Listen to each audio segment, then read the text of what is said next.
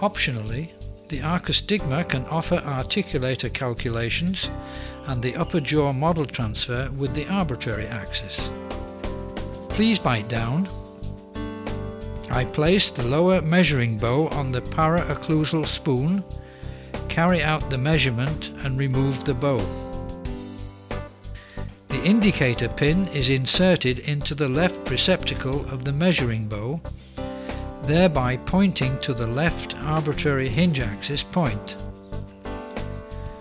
The position measurement is carried out and the indicator pin is then repositioned to the right side of the bow. Thus, the right arbitrary hinge axis point is shown and the measurement carried out. Subsequently, the indicator pin is inserted into the center position measurement of the infraorbital point is carried out. Thereby all reference points have been measured which display the reference plane for the transfer of the viewpoint.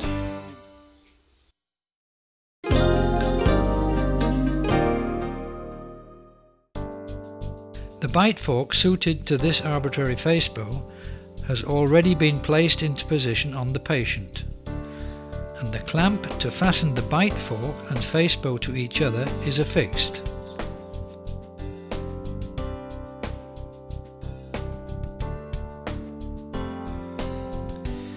The axis pointers are now aligned and fixed on both sides of the arbitrary hinge axis points. Hereby the position of the arbitrary axis point in relation to the upper dentition is fixed. Thus the anatomically correct position of the upper jaw model can be transferred to the articulator. The patient opens her mouth slightly, the glabella support is removed and the face bow is opened.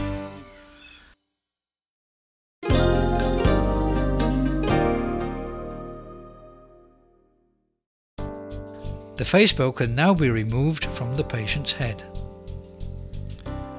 Shown here is the installation of the model on a Protar articulator with the help of an arbitrary face bow. As the retaining pad would be disturbing when positioning the face bow, I have to remove it.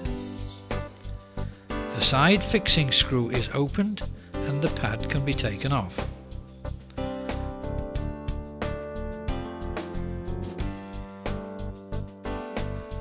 The face bow can now be aligned with the axis pointers to the articulator's axis. The bow is closed by using the knurled screw and placed on the incisal pin.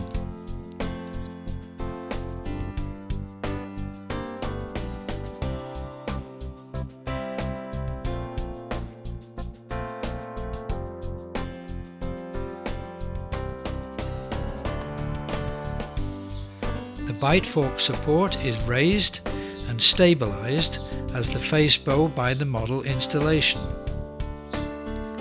The model is placed in the impressions of the bite fork and the mounting plate in the split cast of the articulator upper part.